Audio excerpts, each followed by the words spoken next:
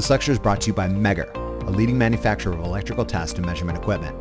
I've trusted Megger's equipment for years and have witnessed firsthand their commitment to education and supporting technical schools across the country. For a limited time, Megger is offering my viewers an exclusive discount on their next purchase on products sold through U.S. distributors. Simply visit us.megger.com slash bigbadtech for all the details. This lecture features the Megger AVO 835 digital multimeter. The AVO 800 series multimeters are as reliable and accurate as the historical AVO units, but now come with a range of features to meet today's standards of electrical testing. For more information on the AVO 800 series multimeters and other Megger products, please visit us.megger.com. Amps, volts, ohms. AVO. The Megger AVO 835 digital multimeter is the one tool that does it all. The Megger AVO 835 digital multimeter, as the name implies, features multiple test and measurement functions integrated into a single portable package, including, but not limited to, AC and DC voltage and current measurements, resistance, temperature, phase sequence detection, and more. Today, we'll take a brief look at the AC and DC ammeter functions. Additionally, we'll examine the current frequency measurement function. We'll explore other functions and features of this DMM in other lectures. An ammeter is a device that measures current through a circuit in units of amps. Ammeters are always placed in series with the item under test.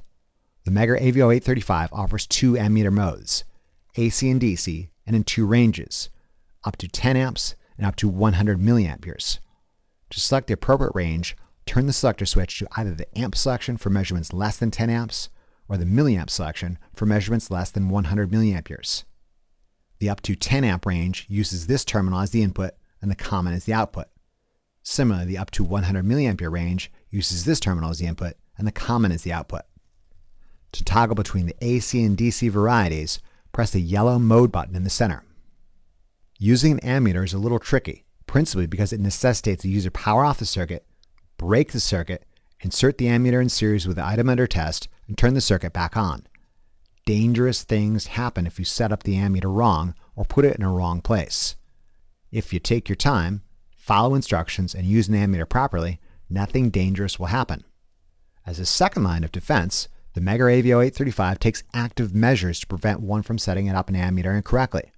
This is my personal opinion, It's one of the AVO 835's best safety features. The DMM actively closes certain terminals and opens others when a user switches between voltmeter and ammeter mode and vice versa. In voltmeter and ohmmeter mode, the common and leftmost terminals are open and both the ammeter terminals are physically covered. In amp ammeter mode, the common and the amp ammeter terminals are open and the voltmeter terminal is physically covered.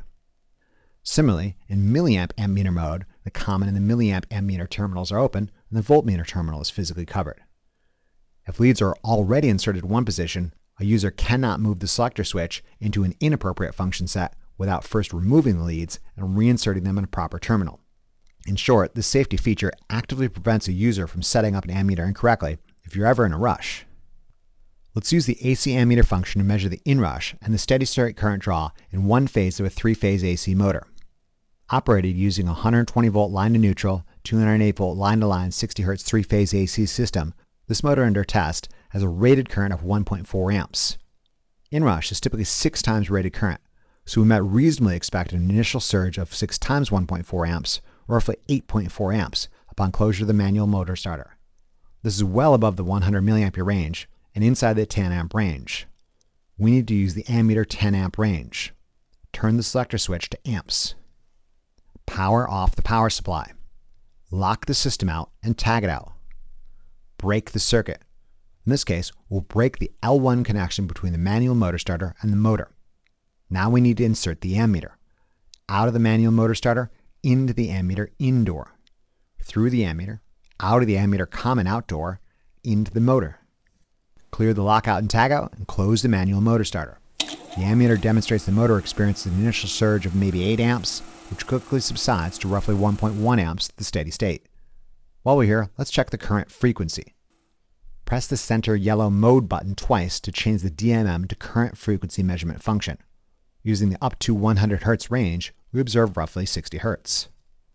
Let's now demonstrate the use of a DC ammeter inside the 100 mA range. Consider a 12 volt DC power supply and a 470 ohm resistor. An application of Ohm's law demonstrates we should expect roughly 25.5 milliamperes of current. This is well below the upper limits of the 100 milliampere range. turn the selector switch to milliamperes. Press the yellow mode button to change DC. Power off the power supply. Break the circuit. In this case, we'll break the positive connection between the power supply and the resistor. Now we need to insert the ammeter. Out of the power supply positive terminal, into the up to 100 milliampere ammeter indoor, through the ammeter, out of the ammeter outdoor, into the resistor. Power on the power supply. The DC ammeter demonstrates this resistor experiences close to 25.5 milliamperes, consistent with our earlier expectations. All right, before we wrap this lecture up, let's quickly learn how to replace fuses on the Megger AVO835 digital multimeter. The ammeter inputs in the Megger AVO835 include fuses designed to rupture in the event the ammeter is deployed incorrectly. Fuses are inexpensive, sacrificial elements designed to blow before anything else more expensive does. Now I know you're smart enough not to damage your ammeter, but look around your lab. Do you trust any of them? My point exactly. Oftentimes in a communal lab setting, several groups share the same equipment, and it's the previous group that has damaged the equipment and left it as an unwelcome surprise for the following group. If your ammeter isn't reading current and your inspection detects no other obvious opens, most likely the fuse for that particular input is blown. In the spirit, here's a quick guide on how to test and replace fuses. The low current 100 milliampere input of the Megger AVO835 has a 125 milliampere fused input, meaning it'll handle, not necessarily read, anything up to 125 milliamperes. Beyond 125 milliamperes, the fuse element melts and breaks the circuit, saving the ammeter from certain destruction. Similarly, the high current 10 amp input on the Megger AVO835 has an 11 amp fused input, meaning it'll handle anything up to 11 amps. Beyond 11 amps, the fuse element melts and breaks the circuit, saving the ammeter from a fiery end. When a fuse on the input blows, that input is rendered inoperable until the damaged fuse is removed and a suitable replacement is inserted. First, an ideal fuse in the attacked and functional state presents zero resistance. Real fuses may exhibit a small or negligible amount of resistance. A blown fuse, in contrast, is an open, presents an infinite resistance. A blown fuse is a sure sign that something went terribly wrong. Replacing the fuses in the Megger AV35 necessitates a little work. Power off the DMM and remove the leads. Flip the DMM over and locate the two screws holding the battery compartment closed. Unscrew these screws and remove the battery cover. Then locate the six Phillips screws around the perimeter holding the case closed. Unscrew these screws and remove the back cover. The low current 125 mA fuse runs horizontally left to right. The high current fuse, in contrast, runs vertically up and down on the left-hand side. Pop out the damaged fuse, replace it with an intact fuse of exactly the same type. Reassemble the DMM and carry on with your mission. Alright, that's about it for today. In conclusion, we examine the AC and DC ammeter functions of the Megger AVO835 DMM. Additionally, we learn how to test and replace a damaged fuse. We'll examine other functions and features of this DMM in later lectures. Thank you very much for your attention and interest, and we'll see you again during the next lecture of our series. Remember to tell your Lazy Lab partner about this resource. Be sure to check out the Big Bad Tech channel for additional resources and updates.